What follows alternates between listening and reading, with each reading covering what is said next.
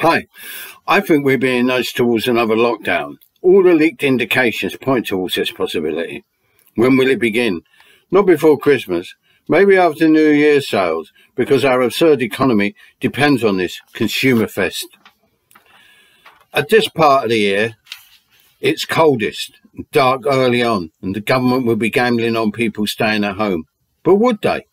It's certain that the anti-lockdowners, anti-vax passporters will come out on the streets. If the police overreact, it's possible that other disaffected elements could join in. It seems that this government's extended honeymoon period is finally coming to an end. Of course, this is all speculation, which is the job of anyway half decent, half sussed anarcho malcontent. We have to imagine and prepare for a future different from the sunny uplands that we've been promised by a corrupt, lying, double dealing authoritarian government. A more realistic, plausible analysis, considering the way things are developing here in the UK, is mass disturbances and mass disobedience if they bring in another lockdown.